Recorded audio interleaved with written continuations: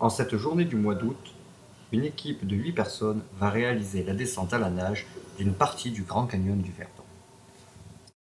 Un peu vu Elle est niveau du Verdon? À l'aide d'un sac flotteur solidement ajusté, il se laisse glisser au gré des vagues de rapides impressionnants, ondule au fond des creux ou grimpe au sommet des vagues.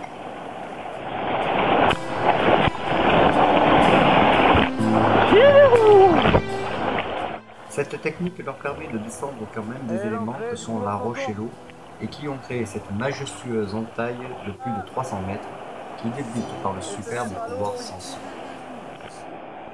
Le rapide du pain de sel, nom donné en d'un gros bloc coincé au travers de la rivière, est l'un des innombrables obstacles que le cours d'eau rencontre sur son parcours.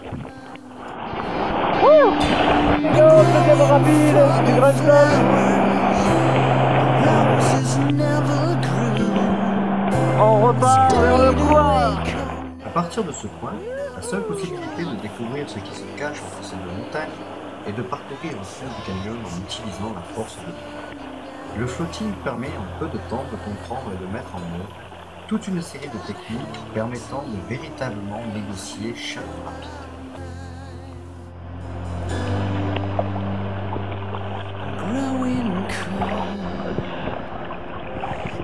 C'est pas beau.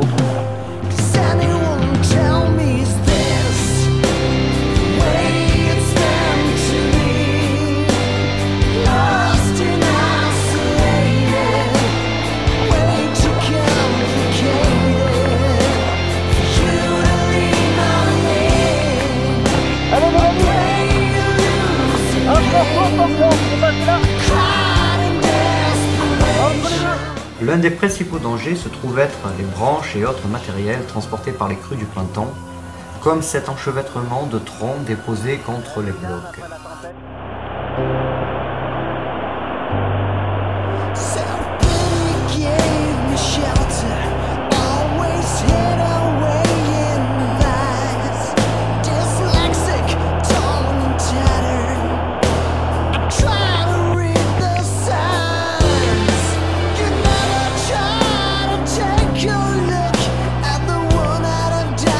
Verdon peut nous réserver de belles surprises.